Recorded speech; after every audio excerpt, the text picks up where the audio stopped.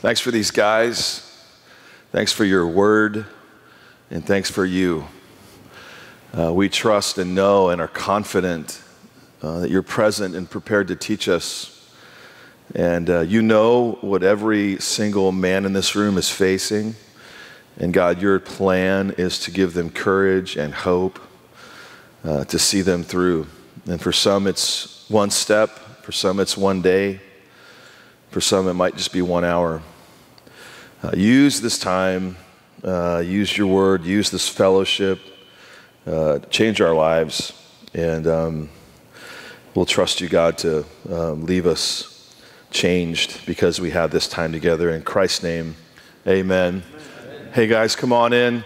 Thursday morning, Tuesday night, guys. Uh, good to see you. Um, a challenge for the Tuesday night guys would be um, I was thinking about this last night, um, this whole new approach where we're doing Thursday mornings, we're doing Tuesday nights for some guys that might not be able to make it on Thursdays. I want to challenge you, Tuesday night guys, to give this six months, to give it a shot, to say, this is something I'm going to commit myself to, um, to be a part of building. You guys are builders on Tuesday nights. You're creating something that didn't previously exist. And we see in the Bible that that's precisely what God does with men.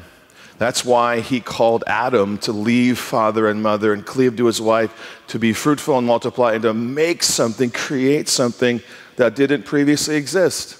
And that's what you're doing on Tuesday. So um, don't be casual about it. Commit and build something. Bring guys with you and create some movement and momentum uh, for Tuesday nights. We're doing a study through the book of Joshua. We're actually studying the life of Joshua and learning from uh, this man how God creates momentum in his life, how God stirs direction in, in his life, and what we can learn from that. That's why it's been recorded for us. We have the details of these stories, not just to chronicle history, but to change our lives. That's why it's there.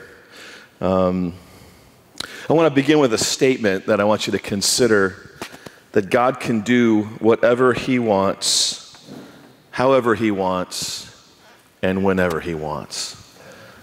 You got that? It's like, uh, am I saying amen or am, am I saying oh my? I mean, which, what's the, I'm not sure where to go with that.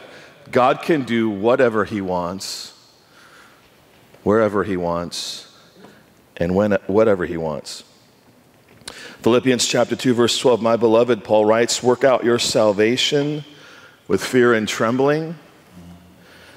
That's kind of the oh my of the amen. For it's God who works in you both to will and to work for his good pleasure. Present tense verbs there. God is always working. He's always moving. He's always teaching. Um, in Joshua chapter 2, we, last week, we, um, Jay did a fantastic job leading you guys. Wasn't that great how Jay led you guys last week? Jay, thank you, my brother.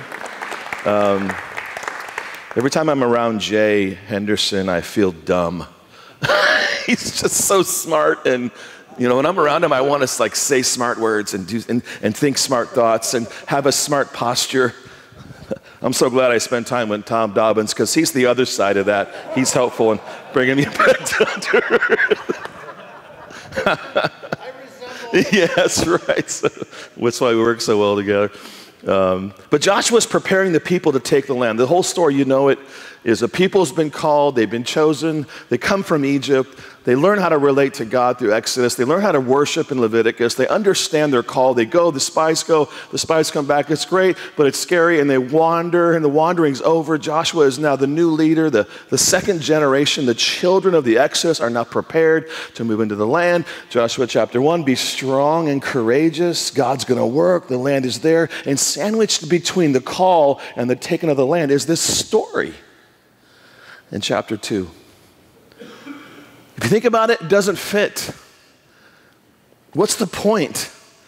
We get to the end of chapter one and we're so excited to take the land. And we, yes, we want to be strong and courageous and we want to, Joshua's our leader and he commands the people and, and they're called to listen and obey and speak and meditate on uh, God's word and we're going to trust him and ah, it's going to be great. And then, and then we, We do the spy thing again in chapter 2. We're sending spies again. Didn't we already do this? And wasn't it a colossal failure the last time we tried this? But as we're going to see this morning, where our lives we think are going this way, so often God sends them this way. Where we expect this, we get that. Where we're thinking this is going to happen, that happens. And we see in this story that God is on a different plane, doing his work, working out his life through these people in ways that are marvelous that we could never imagine. If I were telling this story, I would go from chapter one to chapter three. I wouldn't bother with chapter two. Rahab and spies and a scarlet cord But there is treasure in this, and you can see God's brilliance in it. Let's pick it up in Joshua chapter 2, uh, beginning in verse 1. And so Joshua the son of he sent two men secretly from Shittim as spies, saying, Go view the land. And then when you see that phrase, go view the land, you think, Oh, we just did this. Go check out Jericho, this massive fortified city. And so they went and came into the house of a prostitute whose name was Rahab, and they lodged there. And it was told to the king of Jericho, Behold, men of Israel have come here tonight to search out the land. And the king of, of, Jericho sent to Rahab, saying, Bring out the men who have come to you, who entered your house for they have come to search out the land. Strange, strange beginning to this story. You know, in Numbers, when the spies went out, we had a whole big thing about who they were, how noble they were, what they offered, what they brought to the table. We knew they were the best and brightest of Israel. They were from each tribe the most noble men. I need noble men. God needed them then. God needs them now. We don't hear about what they see. We don't hear about what they observe as their fruit or how high are the walls. Can we take it? Can we dig under? Should we go over? What is the conquest going to look like? Remember, Joshua believes that Jericho is going to be defeated by military power. Of course, aided by God, but he believes this city has to be taken. God's going to do, that's where he's thinking. God's over here doing something else with that. We'll see that chapter 6. But all we see is spies, and a prostitute named Rahab. Jericho, the king of Jericho, finds out that these men are there. And you find out really quickly that uh, this story is going to take a dramatic turn. It's almost like God wants to show off here. And He wants to tell us through this story that as you imagine what your life ought to look like, imagine how He wants to to take you to places you never either wanted to go or would ever plan to go. But in the end, they're going to say, they're going to say, not about the fruit, not about the numbers of soldiers, but that God's going to give us this place. And that's where this is different from what we saw in Numbers with the spies. So they meet Jericho, undoubtedly her house outside. They, they venture their way to, to her home. There's traffic there, things are happening. People have made all kinds of comments about why the two spies went to a prostitute's house. I don't think we need to go there. I don't believe that. I think God sent them there. Because as he's imagining a future for Israel in that land, guess what he's also doing? He's imagining a future for a little prostitute who lives on the outside walls of a city, he's imagining a future for her too. Joshua's not. You and I wouldn't be. But God is. He's working in, in, in, in levels and in layers and in creativity that we could never imagine. And these two spies and this woman have a conversation. We'll pick it up in verse 8. So before the men lay down, because she hid them, on the roof, She said to the men, I know that the Lord has given you the land, and that the fear of you has fallen upon us, and that all the inhabitants of the land melt away before you. How does she know that? Verse 10 For we have heard how the Lord dried up the water of the Red Sea before you when you came out of Egypt, and what you did to the two kings of the Amorites who were beyond the Jordan, to Sihon and Og, whom you devoted to destruction. And as soon as we heard it, our hearts melted, and there was no spirit left in any man because of you. For the Lord your God, He is God in the heavens above and on the earth beneath. Wow. Can you imagine? They have seen, they've been, they've been wandering for 40 years. They know Jericho is this powerful, fortified, walled in city. And for these spies to hear from this woman that we've heard what your God did, and when we heard it, our hearts melted. That's not what they expected to hear. They probably followed the path of least resistance like we do. They imagined the worst possible scenario. She's going to tell us we're crazy to try to take this city. Because that's what you and I do. We imagine how, how this is going to go bad. The first spies did. That's why I'm shocked we're doing the whole spy thing again. It's great, but we got no chance path of least resistance.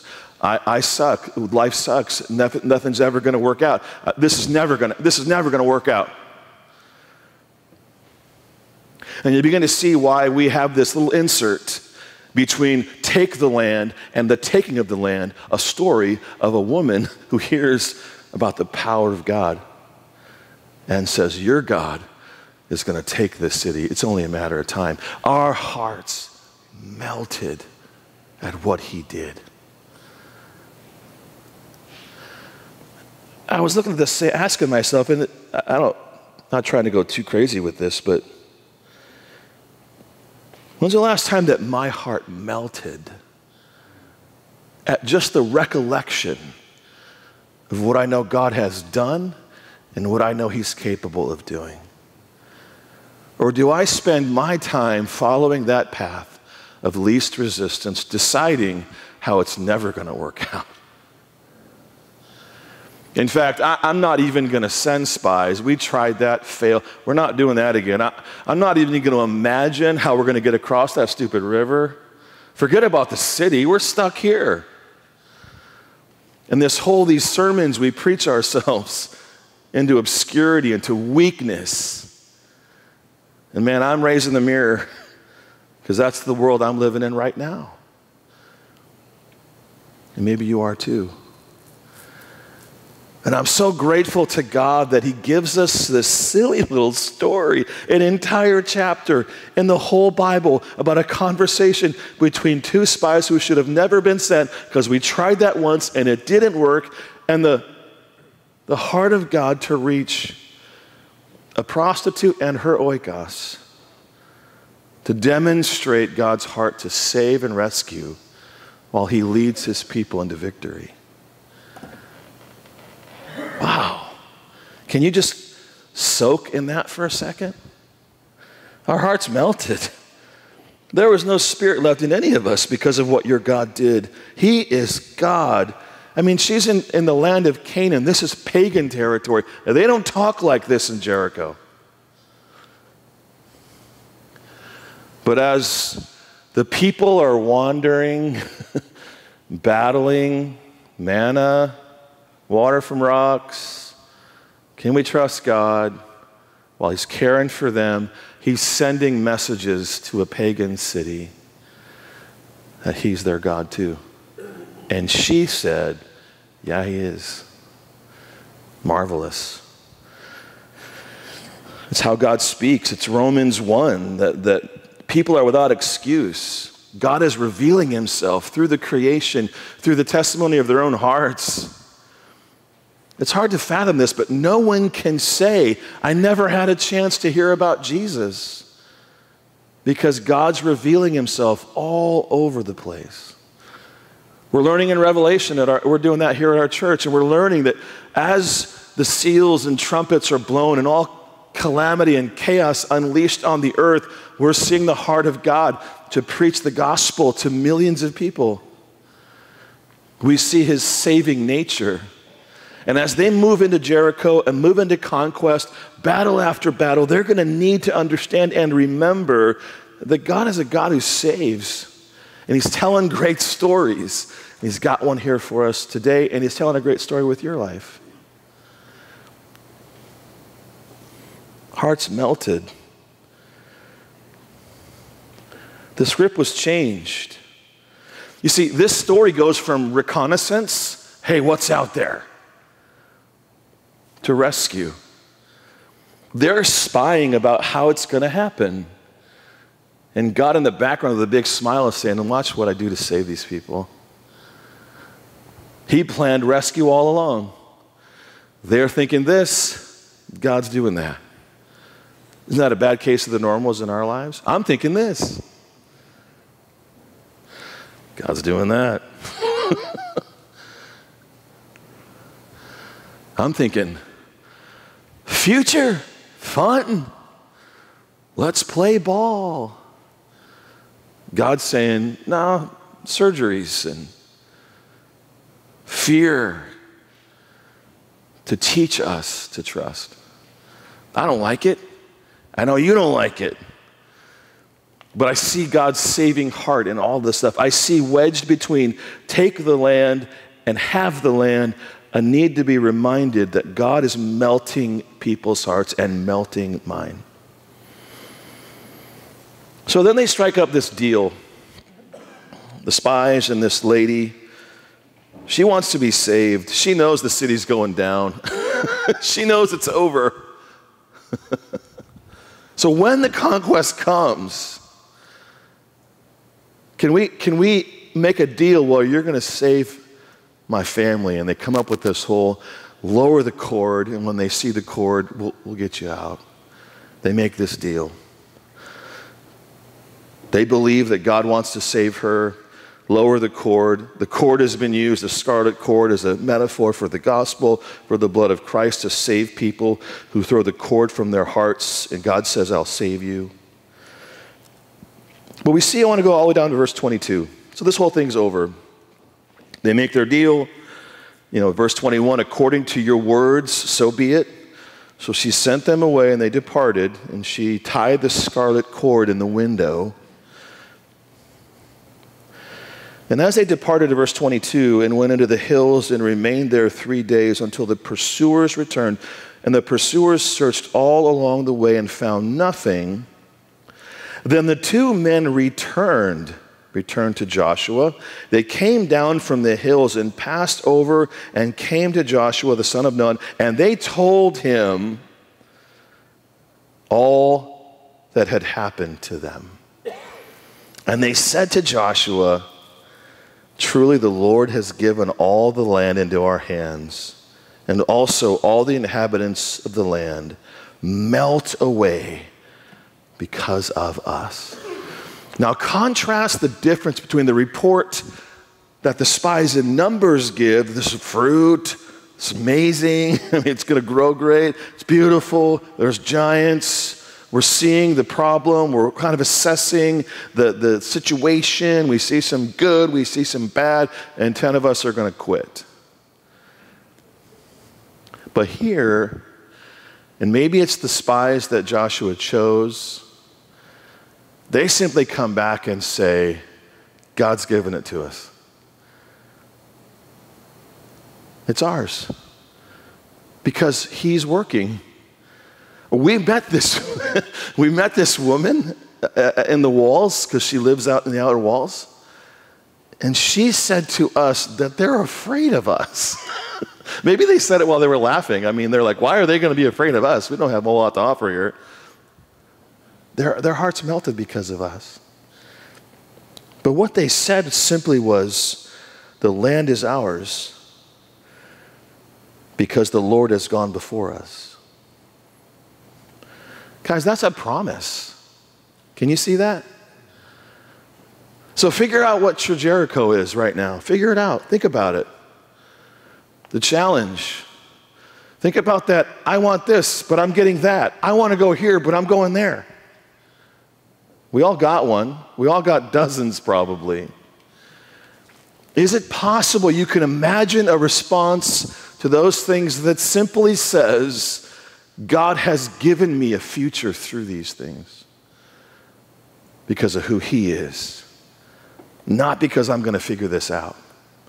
It is preposterous for people in Jericho to be afraid of God's people in Israel. It's preposterous. Unless God's working, and He is. That was the report. God is moving. Guys, there's two, three things I want you to take away from this, and then we'll jump into our, our table conversations. The first thing we see is we think about why this little story is sandwiched in here. Is the first is that God loves to tell great stories. Have you noticed that? He loves to tell great stories. And your life is a story. Your, your, your story is being played out before the world, before your family, before yourself. And is there a piece of your story, a part of who you are, that can say, no matter how big the giants are or how high the walls are, God has said that city's ours. And so the larger the challenge, the greater the story. But you got to trust. You got to be willing to send spies. You've got to be willing to engage with this woman who's telling them that their hearts melted and our spirits left us because your God is God. Can you imagine how powerful that was for them to hear that? The last thing on earth they expected to hear. And as we'll see in chapter 6, the way this city goes down, eh versus eh.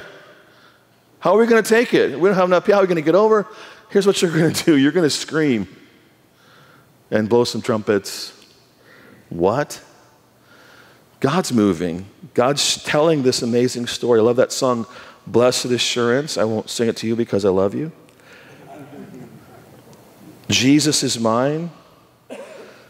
Oh, what a foretaste of glory divine, heir of salvation, purchase of God, born of his spirit, washed in his blood. This is my story. Yes, thank you. My story is not, I was successful in business, or I have a big motorhome. My story is I'm washed in the blood, and I've seen God work. See, I have enough in the rearview mirror to say, yeah, you've been through a lot of stuff. Is this thing any different? You're going to make it. You're going to make it. And we're going to tell a great story. This is my story. This is my song, praising my Savior all the day long. The second thing that we learn first is God loves to tell great stories. She's a great story. The spies are a great story. You're a great story. The second is God loves to rewrite people's history. That just screams off the page. In the whole Bible, Rahab is referred to as Rahab the, the harlot or the prostitute. That's her marker. You know where we see her name without that moniker on it? It's in Matthew chapter 1, verse 5. Rahab, she's the, the mother of Boaz, who's the father of Obed Obed gives birth to Jesse, Jesse, David, all the way down to Jesus. She's not a prostitute there. She's not being defined by her past in that passage. And here she is, just like all of us, assuming that, man, I got no future, this is kind of how it's going to be. And then something radically changes. She responds to what God has revealed, and it changed her life. God's not done writing the history of your story. And I know the walls can be high and thick. The temptation to say, let's not even go there. The spy thing didn't work out too well before. It's thick. The temptation to quit is thick. But God's telling a story, rewriting your story. None of us are defined by what's wrong with us, and there's lots wrong with us, or defined by what's happened to us. How are we defined? Who is, who is us? We are the ones, the heirs of salvation, purchase of God, born of His Spirit, washed in His blood. That's who we are. That's our story. That's who you are. Own it, wear it. The other night, my, my um, don't tell him I told you this because he would be mortified, but my youngest son was, we said, You need to take out the trash. It was dark outside. Yeah, he didn't want to go outside in the dark. If you tell him this, I will disavow any knowledge of what I have shared. Because he'll be in, well, he's already going to be in therapy, but he'll really be in therapy much quicker. Much quicker, he'll be in therapy. But I said, buddy, let's do this. Let's just charge the darkness together. Let's just charge it. Let's own it. Let's not be afraid of it. Let's just take it. And so that's what these spies do. They just go, they obey. You see this profound obedience in Joshua's leadership to go and see, even though it seems scary. There's all kinds of scary things in front of all of us. But God's telling a story. And maybe you need to charge, charge the darkness in your life. Face it. Show it to God and see what he does with it. Watch him work. And then the third thing, just obviously, is the truth that God is always working, even if it seems like he's not. He's always working, even if it seems like he's, he's not. We may not see how all this is going to work out just yet in this chapter, but we see a future because God has spoken to this woman. He cares about the people in Jericho. He's going to save some of them because that's how he works. Sometimes it's hard to see it. Okay, we're going to go spy the land again. All right. And we'll see what we see. But turns out it's not about what they see, it's who they meet and what God wants to do through this woman's life. So, can you trust that there's a stirring of the Spirit all the time? He's always working, always teaching, always leading, always speaking. And even if you're in your car by yourself and just you and your steering wheel and you need to have some honest conversation with your steering wheel, He's working in that too. I hope we can trust it. I love the fact that we don't just move from be strong and courageous to let's cross the Jordan and take the city without the scenes, the interludes and as you're planning your future in the promised land, I'm going to show you my heart. I'm going to save Rahab and her oikos, and I'm going to teach you to trust me. I know you wanted to go this way, and I know we're going this way. I know you expected this, and you're getting that. I'm in it. I'm in it. It's going to give people an occasion to, to see how you trust people an occasion to bless you as you navigate the challenges. And you're going to see my hand if we don't quit. But too many men today are quitting. They're moving into, into being numb. and so I pray, if that's where you are, God would melt your heart like he melted Rahab's heart and show you that he's God. So there's these um, eternity altering questions. I think what would have been my preference in Joshua 6, they could just read these questions and the walls of Jericho would have fallen down, right, James? They just would have fallen. Don't need to shout. That's noisy. It gives me a headache. Just read my questions.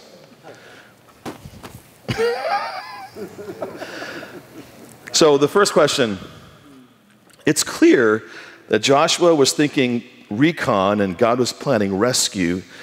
I want you to describe a time in your life when you thought you were going one direction and God took in another.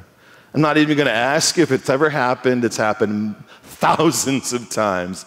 Find one and share it. I think maybe your brothers would be encouraged to hear it. Why do you think God includes the story of Rahab in the Bible?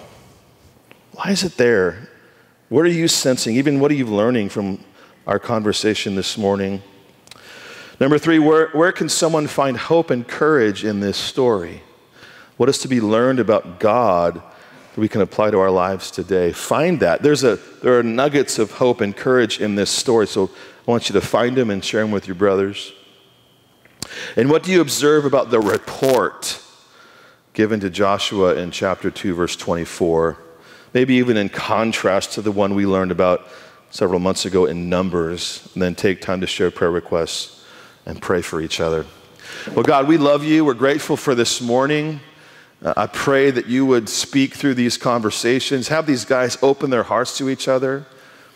And I just want to go as be as bold as I can be and ask you to have a guy say something that will just pierce and melt the heart of a brother who needs to hear it.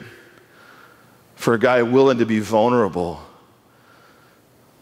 even to admit, God, melt my heart.